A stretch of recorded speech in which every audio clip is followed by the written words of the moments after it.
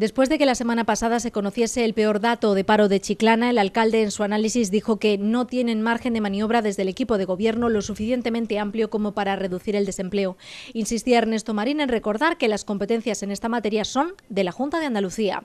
Hoy ha vuelto a decirlo en la sede de su partido junto a la parlamentaria del PP, Teresa Ruiz Sillero, que no ha dudado en afirmar que mientras que en España el desempleo ha descendido en 16.000 personas, en Andalucía ha crecido en 10.000 y en Chiclana en 180.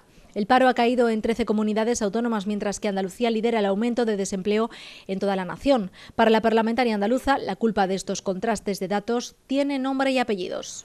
Tenemos la única diferencia que tenemos en Andalucía con otras comunidades autónomas es que tenemos un gobierno socialista desde hace 30 años y en estos dos últimos años tenemos la desgracia de tener un gobierno de coalición de PSOE Izquierda Unida.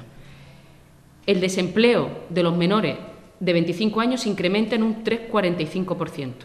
Andalucía es quien concentra el repunte de todo el paro juvenil en España. Dice además que es inconcebible que en 2013 la Junta de Andalucía presupuestara al Servicio Andaluz de Empleo 357 millones de euros y solo 35 se destinaran de manera efectiva a los parados andaluces. Nuevamente, el 90% de ese dinero se ha quedado por el camino, según Ruiz Sillero. Para la parlamentaria del PP, la inversión en materia de empleo en Chiclana por parte de la Junta de Andalucía es nula y los incumplimientos reiterados. ¿Dónde ha ido a parar el resto del dinero? ¿Dónde? ¿Se lo ha comido el gobierno andaluz peso Izquierda Unida? ¿Y en qué? ¿O lo ha desviado en esos múltiples escándalos de desvío de fondos públicos en materia de empleo?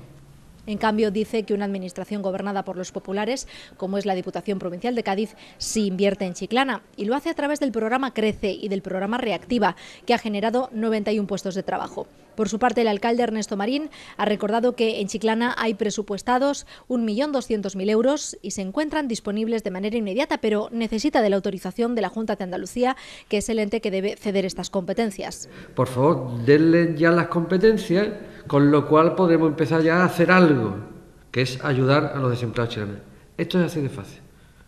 Esto es así de fácil. No hay que hacer más que una llamada telefónica y que te hagan caso y que te hagan caso. El problema es que a mí me da la impresión de que los, los líderes socialistas chilenos que no le hacen caso, o sea, que ni porque llamen.